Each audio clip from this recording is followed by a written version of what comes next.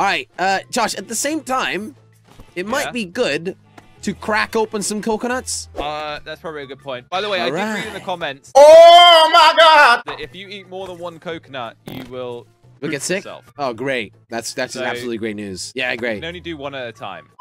Oh, you can eat a coconut once you've drunk from it. What? What? Really? Yeah. Whoa!